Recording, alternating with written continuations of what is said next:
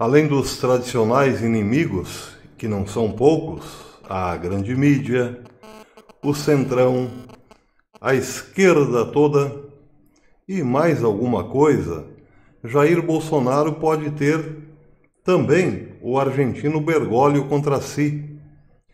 Bergoglio começou uma cruzada servindo-se do seu status de líder religioso e chefe de Estado. Bergoglio iniciou uma cruzada para desmantelar a Igreja Católica por dentro, mas também, como bom comunista que é, combater governos conservadores pelo mundo. Fez isso com Salvini, agora mesmo na Itália. Tentou ridicularizá-lo porque Salvini reza o terço. É. Salvini é um fiel devoto da Virgem Maria e Bergoglio tentou ridicularizá-lo por isso. Na verdade, o que queria Bergoglio é que Salvini não tivesse Salvini não tivesse nenhum voto para o Parlamento Europeu. Deu com os burros na água. Mas o, a próxima, o próximo alvo de Bergoglio, não se enganem, será Jair Bolsonaro e o Brasil. Bergoglio está empenhadíssimo, empenhadíssimo em tirar do Brasil a floresta amazônica. Nada mais, nada menos do que isso. Bergoglio vem insistido que a ONU deve criar uma força supranacional para cuidar dos problemas climáticos, para salvar o planeta Terra. Não tem poupado esforço para isso. Ele quer uma força supranacional que possa tomar decisões independente dos governos regionais. Ele agora está de olho na Amazônia Sim, a sua política agora é passar a floresta amazônica para essa força supranacional. Porque, segundo Bergoglio, a Amazônia está por um fio. O desmatamento está provocando o terrível, contribuindo terrivelmente para o aquecimento global e para o fim da biodiversidade.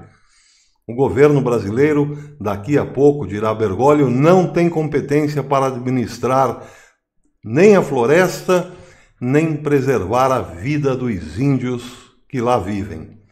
Hoje, 27 de maio, está aqui no Live Site New, Bergoglio recebeu o cacique Raoni, o famoso chefe indígena da Amazônia.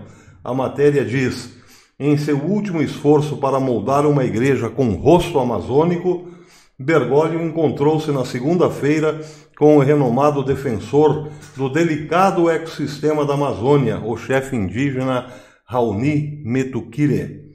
Raoni, o líder do povo caiapó, tornou-se o símbolo vivo da luta pela preservação da floresta amazônica e da cultura indígena ganhando a aclamação internacional de figuras proeminentes, todos esquerdistas, e celebridades como Sting, Arnold Schwarzenegger e o ex-presidente francês Jacques Chirac. Sua visita ao Vaticano é vista como parte do esforço de Bergoglio para promover a espiritualidade indígena e a, abre aspas, ecologia integral em preparação para o Sínodo Pan-Amazônico em outubro próximo. O Vaticano publicou várias fotos da audiência do Papa com Raoni, mas não divulgou mais detalhes sobre a reunião. Em um comunicado no sábado anunciado a audiência privada, o porta-voz do Vaticano, Alessandro Ghisotti, disse que atesta o cuidado pelo povo e meio ambiente da Amazônia e seu compromisso em salvaguardar nosso lar comum. Vejam, quando dizem nosso lar comum, estão se referindo exatamente a isso. É que a Amazônia já não pertence ao Brasil. Abramos o olho, porque tudo está parecendo muito bonitinho.